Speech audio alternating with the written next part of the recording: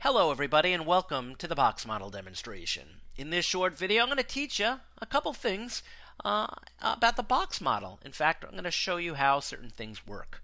Um, let's take a look at the HTML on the screen here. It's, uh, it was built using the template, right, the HTML template that you've learned to use in CTEC 122. In fact, right up here we have the page wrapper div, we have the header div, we have a, a, the nav div here, which has nothing in it. We have a sidebar div, again, which has no content. But look down here at the content div, right? This div with an ID of content. It has three paragraphs in it, right? It has three paragraphs, which are block level elements, each with their own ID. Box underscore 1, box underscore 2, and box underscore 3. I also have a CSS file linked to this HTML, right, in the head section. And you, as you can see, I have some style information for the body, the header, the content, box 1, box 2, and box 3. But before I carry on, look to the right here, right? This is what this HTML and CSS look like, right?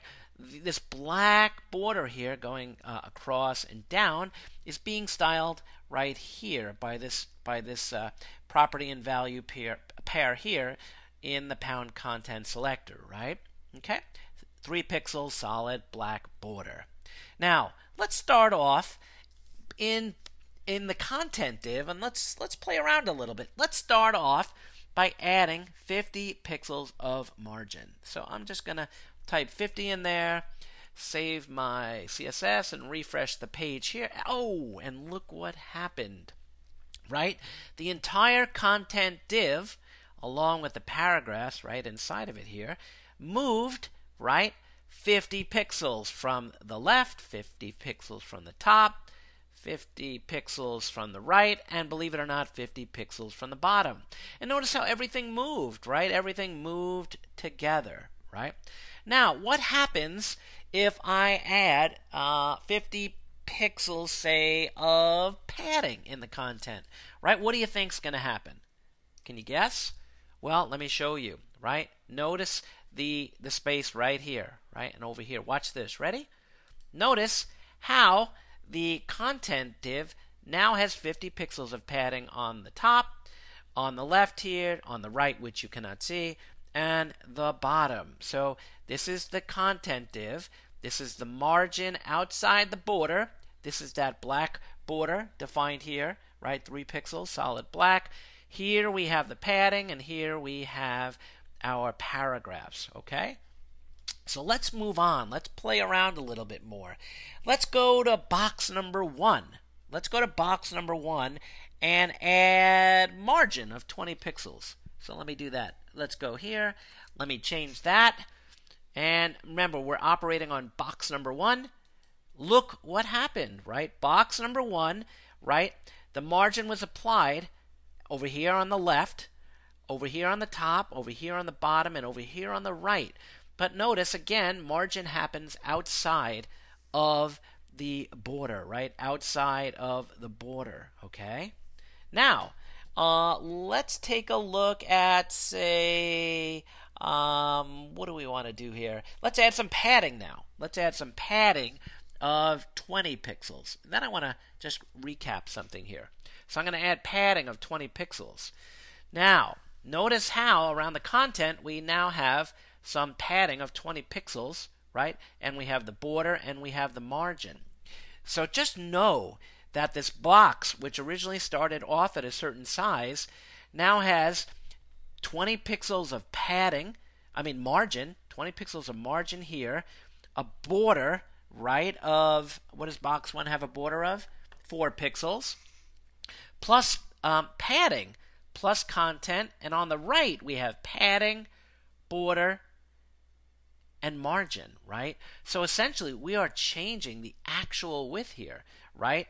By by adding margin and padding, right? Same with the height, right? We're increasing, right, the height of this div when we add margin and padding. And if we did in fact change the the width of the border, it would actually uh, change the overall height and or width uh, as well. Okay, so just keep that in mind. Okay? So let's move on. Let's now play with box number two, right? Let's play with box number two. Let me scroll down here on the left hand side. And for box number two, let me add 30 pixels of padding. Okay, so 30 pixels of padding. Can you guess what's going to happen, right? Since we're adding padding, right, do you think it's going to happen outside the border or inside the border? Let's see. Look at that. It happened inside, right? Because remember, padding ha- happens inside the border. Now, since we increased the padding by 30 pixels, right, the overall width and height also changed by 30 plus 30, 60 pixels, right? 60 pixels. So it's actually larger now, right? So let's do something on box number three that's just uh, a little bit different, right? A little bit different. We've been playing with margin, right? That happens to be positive numbers, right? Positive numbers. Let's say we add um, negative 40, negative 40 pixels here, and we'll save it to box number three. What do you think is going to happen? We're telling it, right, that we want to apply minus 40 pixels relative to where it is right now. So if we do that, watch what happens. See what happens? It moved to the left and up 40 pixels, okay? It moved up and sideways 40 pixels. That's minus, right? Minus negative margin, as, as I like to say. Okay? So I'm going to take that negative 40 off just so you can see uh, I'm going to put it back. Okay, let's go back here. So everything is kind of back to normal before we added the negative 40 there, right?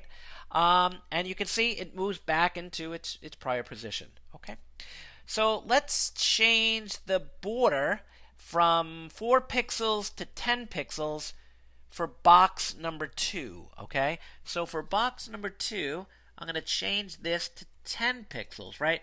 So we're actually increasing the border all around from 4 pixels to 10 pixels. So that's going to be what? That's going to be what? That's 6 pixels bigger all around. So the width, right, and the height grew by what? 6 times 2, right? 6 here, 6 here.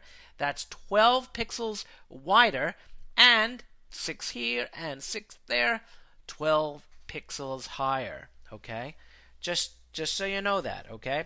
So the box is is growing, right? The box is growing. Now let's get a little uh, freaky with floats, okay? So I am going to add on box number two, right? I am going to let's see, add. Let me let me see right here. Let me scroll over for a second, and I'm going to add right over here, right? I'm going to add a float right. Oops, excuse me. Float colon right semicolon. And can you guess what's going to happen here? Let's see what happens. Whoa! Pay attention. I'm actually going to move this window out here and make it bigger so you can see. Notice that box number two floated to the right like we told it to. Okay, it's still maintaining its its uh, margin here. Notice that.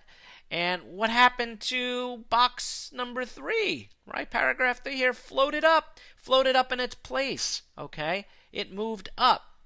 Now, in one of the tutorials, right, in the making, I mean, in the welcome page tutorial, right, we told you about a little, a little um, property value pair, right, that can help you uh, put this particular red box back where it belongs. Does anyone remember what that is?